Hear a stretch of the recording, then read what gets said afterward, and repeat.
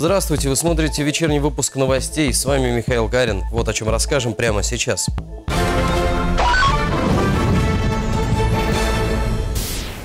Новые подробности дела о семейной копилке. Елену Витер выпустили из-под стражи. Очередной скандал в РПЦ. Лишенный сана Схиегумен продолжает принимать прихожан. Деревья в центре Оренбурга вырубали незаконно. Ленинский районный суд вынес решение. Оренбуржье в лидерах по безработице. Минтруд подводит итоги. Пятница объявлен выходным днем. В некоторых школах региона отменили уроки. Красивая победа. Футболисты Оренбурга разгромили Ярославский шинник. Начинаем выпуск со срочной новости. Буквально за несколько минут до выпуска стало известно, что организатора кооператива «Семейная копилка» Елену Виттер выпустили из-под стражи. Ленинский районный суд удовлетворил ходатайство следственного органа об изменении меры пресечения. Напомним, главе скандально известного кооператива ранее было предъявлено обвинение в крупном мошенничестве и легализации денежных средств, полученных преступным путем. Потерпевшими признаны около 800 человек. Ущерб составил 250 миллионов рублей. Мера пресечения заключения под стражу в четверг изменена. Ей запрещено общаться с лицами, проходящими по уголовному делу, вести переписку в интернете. Расследование продолжается. Очередной скандал в РПЦ. Схемонах Сергей Романов отлучен от церкви. Сегодня его предали анафеме за проведение богослужений, несмотря на лишение сана. Представление о решении епархиального суда должен будет утвердить правящий архиерей, а после этого патриарх Кирилл. В Среднеуральский женский монастырь в Свердловскую область до сих пор едут паломники поддержать бывшего священнослужителя. Среди них и оренбуржцы. Подробности далее. Осенний дождь и хмурая погода не помеха. Паломники обсуждают детали предстоящей поездки. Они хотят поддержать лишенного сана схиегумена Сергия. Люди искренне верят в его невиновность и чистоту. Настолько проникновенно он вникает в скорби каждого, каждого человека, что такое ощущение, что он сердце вынимает и кладет на твои ладони. Там люди с другими глазами с другими, да. Это все вот благодаря ему. За ним дети бегут, вот как воробьи, вот, или как цыплята за, за клушкой. Русская православная церковь такой подход не одобряет. Она считает, что лишенный сана схиегумен Сергий создает альтернативное православие. Оно ведет людей не к Богу, а к личности Романова. В сектоведении это означается термином гуруизм, когда человек, либо в данном случае бывший священнослужитель, а, вокруг себя собирает людей, и Христа в его общине сейчас, в захваченном им Среднеуральском женском монастыре, к сожалению, нет. Люди, которые поедут туда и будут молиться с Романовым, будут участвовать в богослужении, исповедоваться, причащаться, они лишаются возможности впоследствии причащаться в храмах Русской Православной Церкви, они будут отлучены от причастия, они не будут иметь права участвовать в таинствах церковных, и в случае смерти их нельзя будет отпевать. Бывшим его называют не случайно. Сергей Романов официально лишен сана уже несколько месяцев. Причина – нарушение присяги священника и монашеских обедов, ряда апостольских правил и правил Вселенских соборов. Сейчас идет суд по отлучению от церкви. Дорогие отцы, братья и сестры, Стоит напомнить, что в православие он пришел всего 20 лет назад. До этого на его счету убийство человека. Кроме этого, был виновником дорожно-транспортного происшествия со смертельным исходом. Обвинялся в хищении госимущества. В тюрьме провел 13 лет. В епархии отмечают, что все таинства, совершенные сейчас Романовым, незаконны и недействительны. Ольга Энгельс, Семен Воробьев. Новости дня. В России вынесли первый приговор за создание паблика АУЕ. Меньше месяца прошло, как Верховный суд признал организацию экстремистской. И вот первое решение суда. Напомним, в соцсетях паблик на тему воровской романтики появился в 2011 году. Его автором стал тогда еще 17-летний оренбуржец Николай Бабарика – Спустя 7 лет страницу запрещенной в России организации заблокировали. Правоохранители обвинили переехавшего в Екатеринбург мужчину в создании экстремистского сообщества и возбуждении ненависти к сотрудникам силовых структур. Подельниками Николая стали его супруга и приятель. Всех троих суд признал виновными. Создатели приговорили к 7 годам колонии, его супругу к 4 годам условно, а приятели отправятся в места заключения на 3 года и 9 месяцев. У них есть 10 дней для обжалования приговора. А теперь еще об одном резонансном судебном разбирательстве, но уже в Оренбурге. Деревья в центре города вырубались незаконно. Ленинский районный суд вынес решение в отношении действий мэрии и администрации Южного округа. Рассмотрение дела инициировала прокуратура. Прокуратура настаивает, документы на вырубку почти 150 деревьев в центре города чиновники выдали с нарушениями. Резолюции ставили те сотрудники администрации, которые полномочий на это не имеют. Также был нарушен регламент по оформлению бумаг. Не ко всем порубочным билетам составлены акты оценки ущерба. К тому же в некоторых местах вместе со старыми деревьями спилены еще совсем молодые. В целях устранения нарушений закона прокурор города обратился в Ленинский районный суд с административным заявлением о признании о незаконном действии администрации города Оренбурга и администрации Южного округа Оренбурга при, по выдаче 14 порубочных билетов незаконными, а также обязании подготовить акты оценки ущерба, причиненной вырубкой либо повреждением зеленых насаждений. По 14 порубочным билетам общая сумма составила свыше 3 миллионов рублей. Суд удовлетворил иск частично. Действия администрации Оренбурга и Южного округа признаны незаконными. Но в части признания порубочных билетов недействительными отказали. Сейчас прокуратура готовит следующий иск о компенсации нанесенного вреда. Администрация города от комментариев отказалась. К другим новостям. В соседней с Оренбуржьем Самарской области зафиксированы случаи африканской чумы свиней. Специалисты обнаружили 109 вспышек заболевания в домашних хозяйствах и в популяциях дикого кабана. Опасное заболевание зафиксировано в 11 районах. В настоящее время во всех неблагополучных пунктах проводится комплекс мероприятий по ликвидации и предотвращению распространения АЧС. При этом, как сообщает в Россельхознадзоре, территория Оренбургской области остается благополучной, но в настоящее время значительно возрастает риск заноса и распространения африканской чумы свиньей на территории региона. При этом, как сообщает в Россельхознадзоре, территория Оренбургской области остается благополучной, но в настоящее время значительно возрастает риск заноса и распространения африканской чумы свиней на территории региона. Частным хозяйствам рекомендовано содержать поголовье только в закрытых помещениях, ежедневно проводить обработку свиней и помещений для их содержания от кровососущих насекомых. Кроме того, всем жителям области напоминают, не следует покупать животноводческую продукцию в местах несанкционированной торговли без документов, которые бы подтверждали происхождение, качество и безопасность товара. И теперь информация о ситуации с коронавирусом в области. 93 положительных тестов на COVID-19 за последние сутки подтверждены лабораторно. Это данные Федерального оперативного штаба по борьбе с коронавирусной инфекцией. Общее число зараженных в регионе с начала пандемии 10 843. 81 пациент умер от коронавирусной пневмонии. Из стационаров накануне выписаны 108 человек.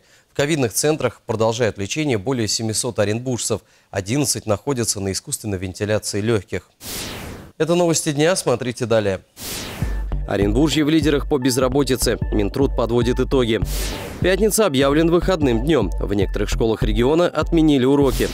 Красивая победа. Футболисты Оренбурга разгромили Ярославский «Шинник».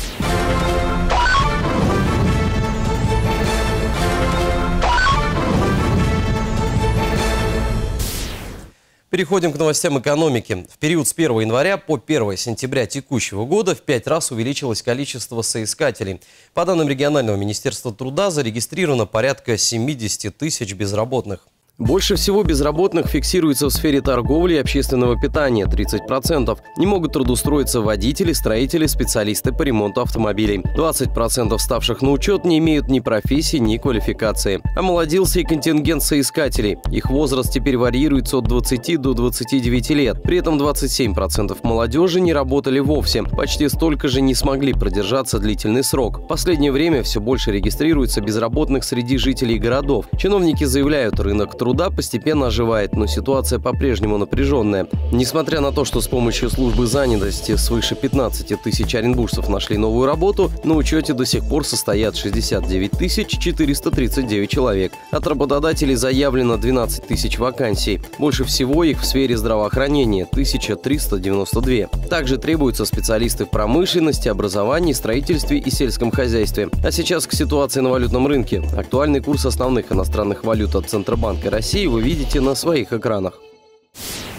Непростая ситуация сложилась на рынке труда. В 2020 году в Оренбурге на пособие по безработице уже израсходовано почти 2 миллиарда рублей. Это в три раза больше, чем за весь 2019 год. Причину в Минтруде называют пандемию коронавируса. В течение нескольких месяцев оренбуржцам выплачивали повышенное минимальное пособие по безработице. С учетом уральского коэффициента оно составило 5175 рублей. За время пандемии в пять раз увеличилось количество самих безработных. Если по данным на 1 января 2020 года фиксировалось 15 тысяч человек, то на 1 сентября эта цифра выросла уже до 70 тысяч. Чтобы материально поддержать тех оренбуржцев, кто потерял работу, было принято решение о выплате повышенного пособия с 1725 рублей до 5175. Такую компенсацию оренбуржцы получали в течение трех летних месяцев. 1 сентября мы вернулись на прежнюю схему работы, то есть э, расчет размера пособия у нас будет осуществляться в соответствии с законом о занятости. Э, минимальное пособие у нас будет составлять, как и прежде, 1725 рублей, а максимальное пособие остается таким же 13 949, но будет уже рассчитываться, исходя из трудового стажа и средней заработной платы за последние три месяца. В сентябре можно получить дополнительные детские пособия. Соответствующее постановление подписал премьер-министр России Михаил Мишустин. Минимальная сумма составит 3000 рублей, но для этого нужно лишиться работы в период пандемии. Выплата будет начисляться на каждого ребенка, не достигшего 18-летнего возраста. А теперь новость, которая касается всех оренбургских школьников. В пятницу отменены занятия. 11 сентября объявлен Днем здоровья. Как сообщает в Министерстве образования области, такое решение связано с началом выборов. Во многих учебных заведениях традиционно размещают избирательные участки. В 2020 году единый день голосования пройдет с 11 по 13 сентября. Чтобы не отвлекаться от учебного процесса, руководство школ приняли решение отменить уроки в пятницу. Ведомстве также уточняет, что перед тем, как дети вернутся за парты, все помещения будут обработаны. А сейчас о неблагоприятных погодных явлениях. По данным Оренбургского гидрометцентра, ночью и утром 11 сентября в северных и центральных районах области ожидается туман видимостью 500 метров и менее. Водители просят не выезжать за пределы населенных пунктов без острой необходимости и быть предельно осторожными на трассах. Самый престижный и почетный. Сегодня в областном центре состоялась торжественная церемония награждения победителей и призеров областного конкурса «Лидер экономики». В этом году он проходит в 20 раз. В золотой фонд вошло общество «Газпром добыча Оренбург». В копилке предприятия 14 знаков победителя конкурса. Подробнее расскажет Анастасия Кубатка. Развитие кадрового потенциала и социального партнерства, формирование здорового образа жизни и сокращение производственного травматизма, участие в социальном развитии сельских территорий и корпоративная благотворительность. Общество «Газпром добыча Оренбург» – абсолютный лидер среди хозяйствующих субъектов. Пандемия коронавируса внесла свои коррективы в работу предприятий, поставив все сферы жизни и отрасли в сложнейшее положение. Это не просто экзамен, а проверка на прочность и эффективность работы. Трудно сохранить лидерские позиции в этих условиях. Но большинство наших промышленников и предпринимателей, бюджетных организаций муниципалитетов с, частью, с честью проходят этот сложный этап. Благодарю вас за качественную и эффективную работу. Предприятие «Газпром добыча Оренбург» является одним из основных налогоплательщиков и работодателей региона. Оно успешно справляется с задачами по добыче и транспортировке сырья и готовой продукции. В настоящее время ведет эффективную работу по поддержанию сырьевой базы, уделяет большое внимание укреплению безопасности производства. Да, мы стали победителем в двух номинациях. Это традиционно для нашего предприятия и для «Газпрома» в целом. А, поэтому хочу также поблагодарить э, нашего губернатора и правительство, которое нас оценило. Очень приятно, что наш труд востребован, оценен. Будем только укреплять наше лидерство, э, достигая новых результатов. Предприятие смотрит в будущее. Например, в селе Черный Отрог Саракташского района благодаря газовикам в этом году открылась новая школа и заработал «Газпром-класс». В семи селах Оренбургского и Переволодского районов появились современные детские игровые площадки. Анастасия Кубатка, Георгий Бурлуцкий. Новости дня. Полгода в условиях пандемии. Росводоканал Оренбург подводит итоги работы в период ограничений. Взаимодействие с частью потребителей вышло в онлайн-режим. Продолжается ремонтная и инвестиционная кампании. Как пришлось переориентировать деятельность подразделений и каковы перспективы, руководство предприятия поделилось в ходе пресс-конференции. Генеральный директор компании Дмитрий Масловский признает, что работа в период пандемии далась предприятию непросто. Сроки ремонта, строительства сетей и модернизацию инфраструктуры пришлось сдвинуть на более позднее время. Тем не менее, в этом году Росводоканал отремонтировал и переложил порядка 12 километров сетей. Объем производственно-инвестиционной программы – 205 миллионов рублей. Один из важнейших пунктов – обновление водопроводных и канализационных сетей на участках улиц областного центра, где ремонт проходит по федеральной программе «Безопасные и качественные автомобильные дороги». На Туркестанской, Аксаково, Комсомольской и Правды работы проведены в срок. Для нас эти работы важны. Мы понимаем важность э, ремонтных программ дорожных для города и, ну, сказать, очень серьезно к этому относимся, в том числе и уже сегодня координируем с городскими властями э, программу работ на следующий год. Продолжается модернизация очистных сооружений. На это потрачено порядка 72 миллионов рублей. Ключевой элемент – воздуходувная станция, как один из основных этапов очистки стоков. В период пандемии переориентировать пришлось и работу с клиентами. Расширены и доработаны онлайн-сервисы. Подать заявку на устранение утечки, показания приборов учета, оплатить услуги абоненты могут, не посещая офисов. При этом в водоканале отмечают и рост должников среди частных потребителей. Сумма за последние полгода увеличилась еще на 60 миллионов рублей. Оренбуржцы копят долги и откладывают, пользуясь возможностью до начала следующего года замену счетчиков, срок эксплуатации которых вышел или подходит к концу. Все это можно сделать своевременно, не дожидаясь там 1 января, да, потому что по нашим расчетам мы смотрели, что до 1 января порядка 25 тысяч счетчиков должны выйти в поверку. То есть все прекрасно понимают, что после 1 января по данным счетчикам начнется начисляться по нормативу а, с повышающим коэффициентом. И чтобы не создавать тут э, очереди, ну, понятно, да, что народ весь Э, побежит исправлять ситуацию. Уже в начале следующего года, обещают водоканале, часть абонентов Оренбурга будут обеспечивать водой с нового южноуральского водозабора. Масштабная реконструкция там началась еще в 2012 году, и теперь работы подходят к концу. Татьяна Штылер, Георгий Бурлуцкий. Новости дня. Далее в программе «Новости спорта» состоялись очередные матчи футбольной национальной лиги. В восьмом туре Оренбург на своем поле принимал Ярославский «Шинник». Я передаю слово моему коллеге, спортивному обозревателю Анатолию Юденичу. Спасибо, Михаил. В этот раз в Ростошах встречались команды с разных концов турнирной таблицы. Оправдав предматчевые прогнозы, хозяева одержали элегантную победу и очень порадовали болельщиков. Обычно крепкий ярославский коллектив в этом сезоне никак не может нащупать свою игру и занимает 19 место из 22. Оренбург, напротив, единоличный лидер и перед очной встречей явный фаворит. Победу! Только победу. Надо показать свои способности, но команда гостей, естественно, пытается забрать очки, хотя бы какие. У меня даже есть такая речевка.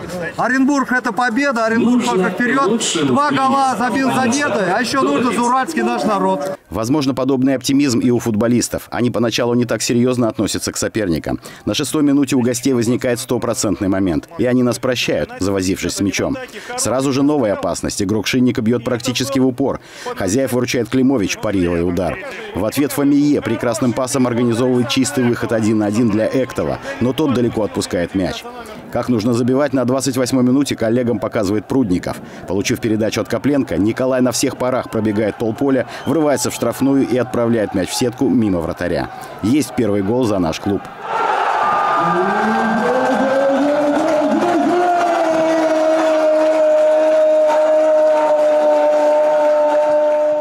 Наши недолго затягиваются вторым голом. Опять образцовая атака, трехходовка и точное завершение Фамие.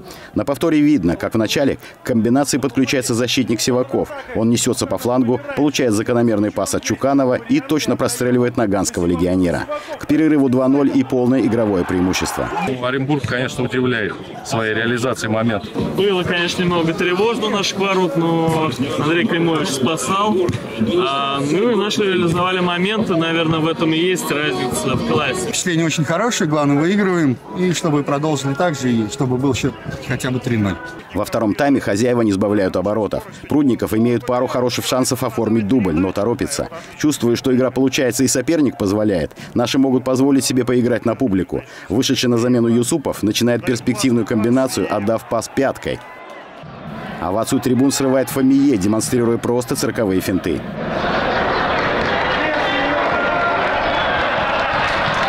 И, наконец, хозяева снова забивают. Оказавшийся один в углу чужой штрафной, Малых простреливает скопление игроков, но точно на Шкофлика. И тот вколачивает в ворота третий мяч. Сейчас в таком отрицательном эмоциональном состоянии можно наговорить скоро, с кучу, наверное, не стоит мне распыляться. Скажу только, что итог матча на табло играли э, две разных команд, двух полюсов ФНЛ. Лидер и как не прискорбно признавать, э, аутсайдер. Ребята показали э, хорошее качество. И, как я уже говорил, э, мне нравится такой офензивный футбол. Да? И сегодня мы забили три гола. И то это тоже хороший показатель команды. Проведший отличную игру Прудников, безусловно, претендует на звание лучшего игрока матча. Но призовую статуэтку получает не он, а отметившийся голевой передачей и желтой карточкой Андрей Малых. Матч с Шинником становится для капитана Оренбурга рекордным, трехсотым в составе клуба. На протяжении 11 лет Андрей неизменно защищает сине-белые цвета, пройдя с командой все дивизионы на профессиональном уровне. В том числе на его счету 74 игры в премьер-лиге и 21 матч в Кубке страны, плюс 11 забитых мячей. С юбилеем, капитан. Ну, по игре сами все видели. 3-0, я считаю, в общем-то, весь матч доминировали. Крупная победа оставляет в силе пятиочковое преимущество, с которым Оренбург лидирует в таблице. В восьми матчах пропущено всего два мяча. И пока ни одного поражения.